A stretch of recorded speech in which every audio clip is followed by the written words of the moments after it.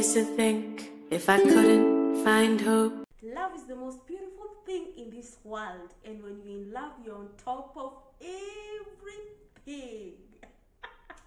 you wish nothing would go wrong.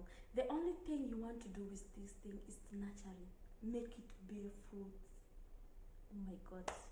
When you're in love, whoo, it always just keeps a smile on your face. It's the way you are happy. You just wishing, oh, I want to call this person. I wish this person calls me. You know, you are just like in between. You don't know even where you are. but it comes a point where the relationship might be toxic. It might be not for you because sometimes relationships are not for us. And the thing that we do is like we don't want to let go. We want don't want to be failures.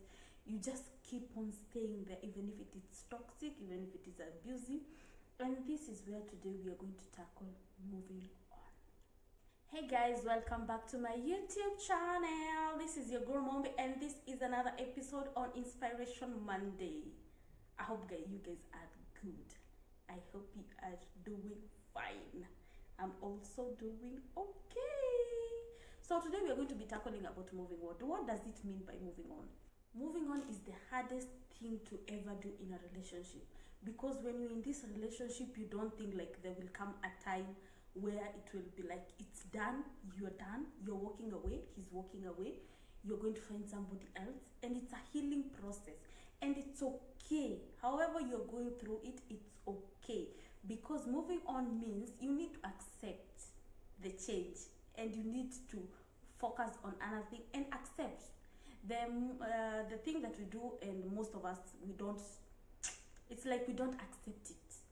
We are not there. We are not ready to accept and move on and accept thing and stop wishing you know i wish i did this. Maybe he would have not left me. I wish i did this. Maybe we'll still be together. I wish i forgave him. Stop wishing. Just move on and accept. Before i even give you tips on how to move on i want people to know that it's okay to take your time. This is a back and forth thing back and forth thing.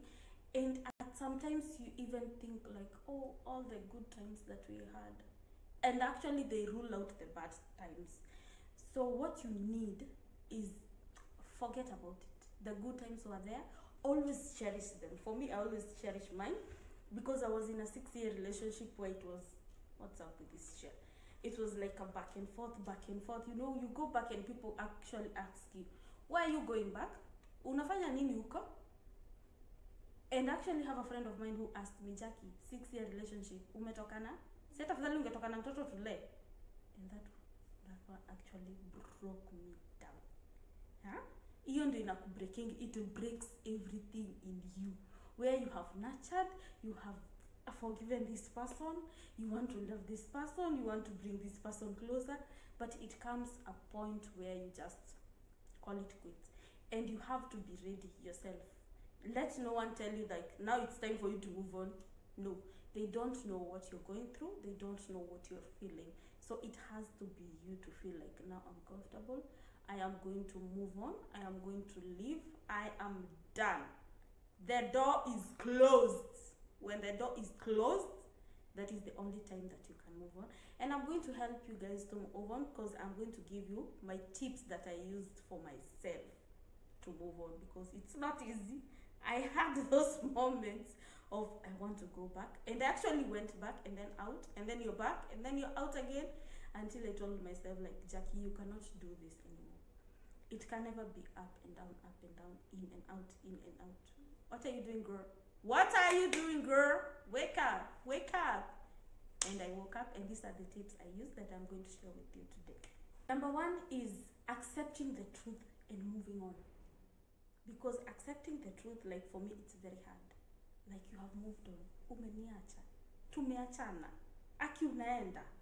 Uko serious unaenda unaniacha. That's actually how i feel.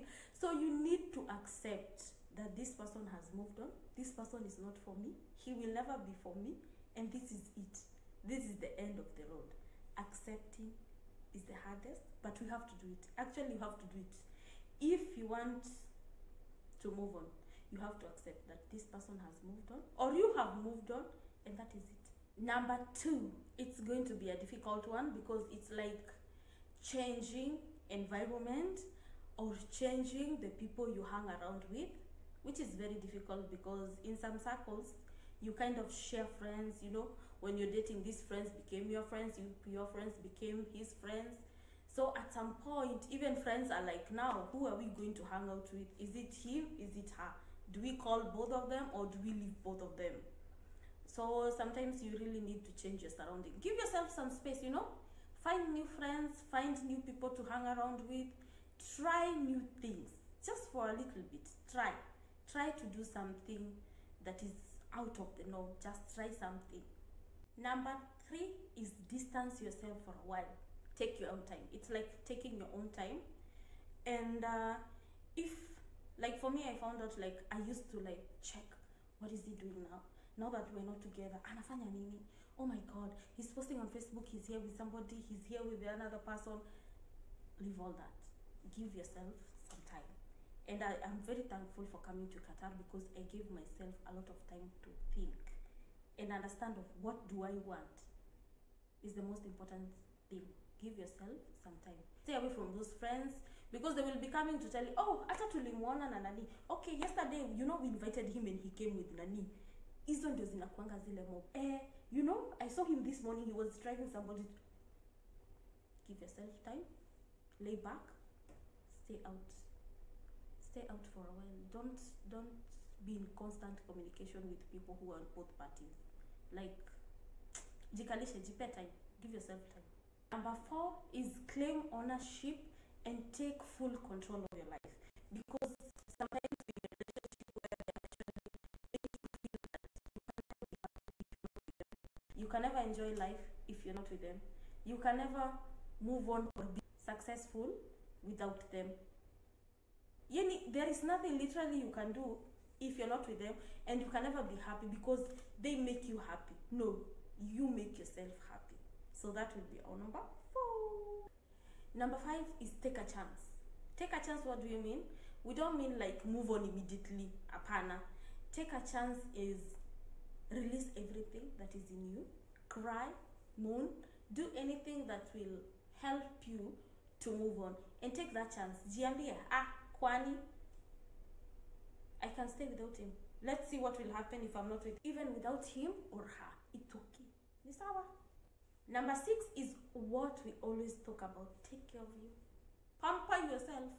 That is the time that you have your freedom now. You can hang out with your friends.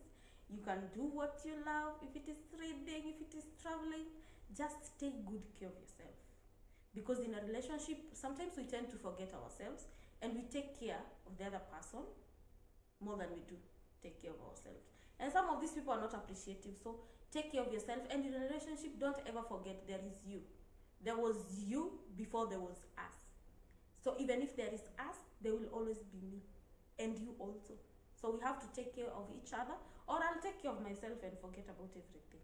Guys kindly subscribe. Number seven will be stop pointing fingers at the other person.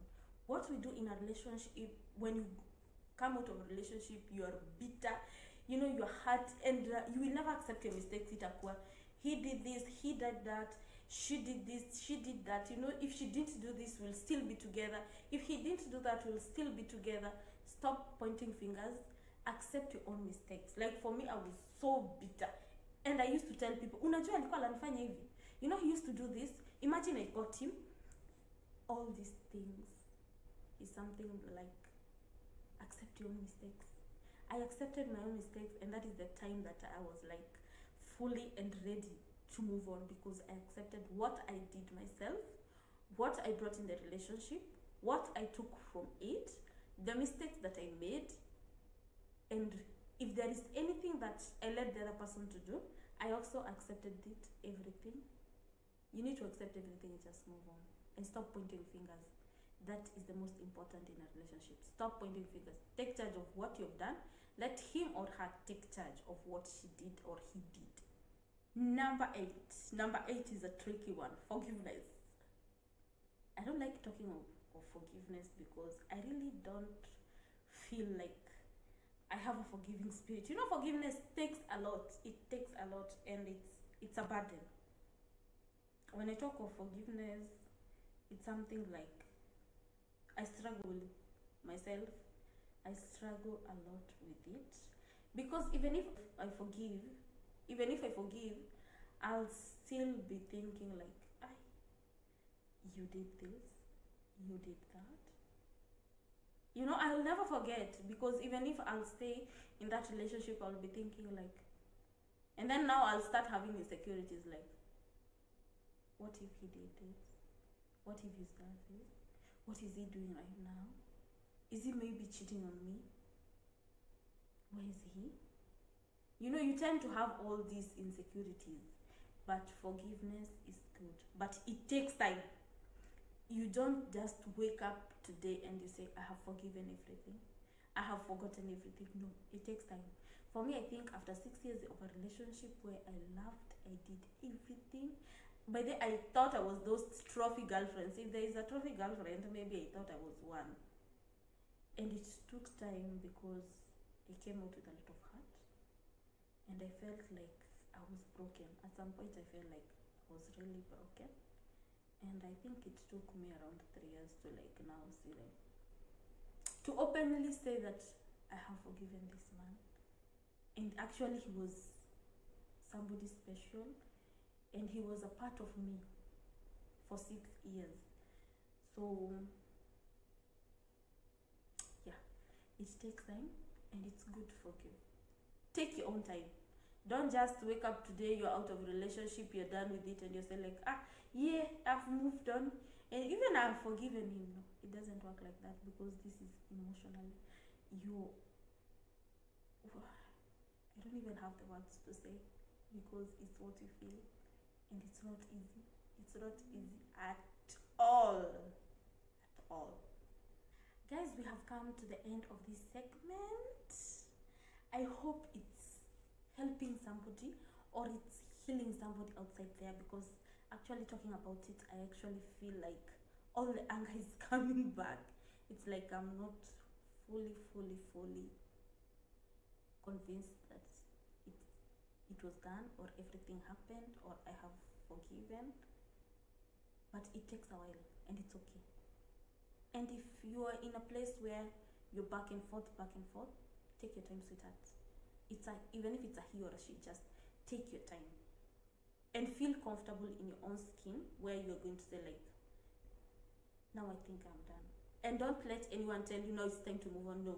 Relationship is for two. It's never for the other person to say now you, it's time for you to move on. No. When you feel you're ready to move on that is the only time you can do it. You can never do it if i tell you to move on. If i question why you are there you're the only person who knows where you are there? Let's just leave it at that. Thank you so much for watching. Thank you so much for the subscription. I am so humbled. If you like these videos kindly give it a thumbs up and join the notification again until the next time bye bye